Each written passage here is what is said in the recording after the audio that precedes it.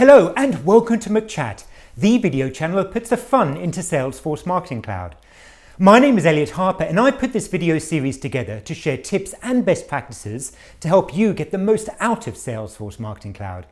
Now in this episode, I'll explain the platform behavior for a couple of different scenarios when writing SQL query activities in Automation Studio.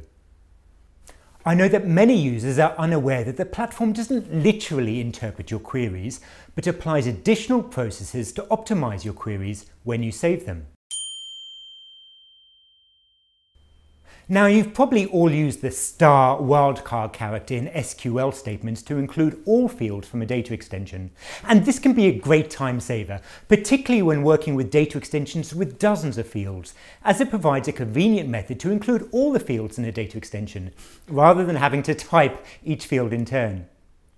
However, when you save your SQL query, the platform retrieves all the fields in the data extension and uses these field names instead of the wildcard character. So if your data extension schema changes, for example, perhaps you add new fields to the data extension used in a from clause, then these fields won't be included in your query until you resave that query activity. Also, as another tip, you can conveniently add all fields in a data extension to your query simply by navigating to the data extension in the left panel and dragging the data extension to your query, which automatically adds all fields from the data extension to your query. That's probably a safer way to include all fields, as you can easily see which fields are included.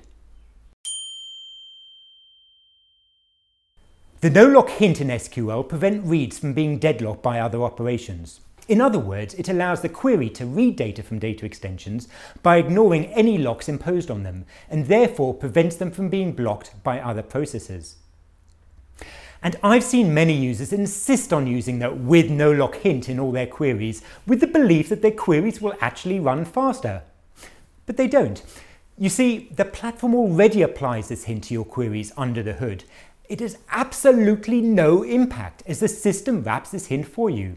The no-lock hint is always enforced, no matter what your query looks like, so there's no need to include it. Well, that's all we have time for this time, but don't forget to subscribe to this video channel for other tips in working with Salesforce Marketing Cloud. See you next time.